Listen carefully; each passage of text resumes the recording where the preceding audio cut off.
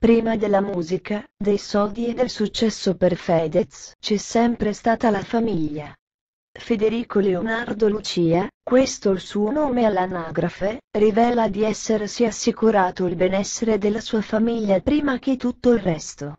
Oggi rapper, imprenditore discografico, influencer e stilista di successo, racconta il Corriere che i primi soldi guadagnati gli sarebbero serviti proprio a sollevare i suoi cari. Sono stato maturo, ho sistemato la situazione economica della mia famiglia. Poi ho fatto 1000 euro di shopping.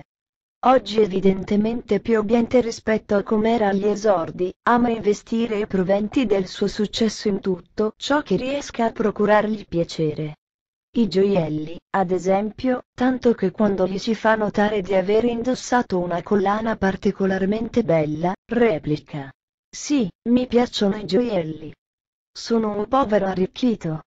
Ma da dove viene Federico?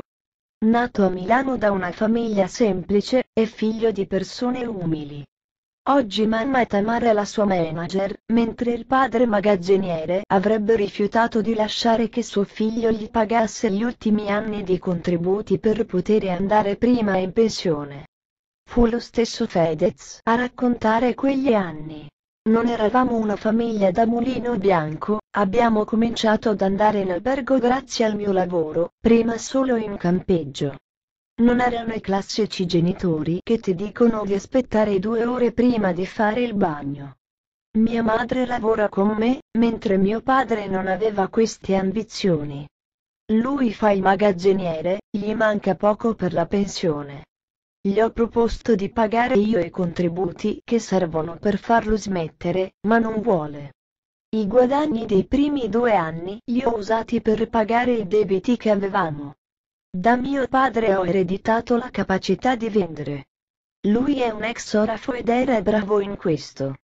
Con mia madre siamo praticamente uguali. Sono un piccolo staccano, come lei e come lei sono molto impulsivo, abbiamo entrambi la tendenza a essere guerrafondai. Nell'intervista al Corvere, Fedez non può sottrarsi alle domande sull'amore con la Ferragni, sua compagna, futura moglie e consigliere in affari. Non lavorano insieme, ma Federico accetta volentieri consigli da lei in fatto di stile e di nuove collezioni moda da ideare e lanciare. Sa bene, però, che loro resteranno sempre mondi diversi. Se fa male alla coppia parlare di lavoro, non sono per niente d'accordo.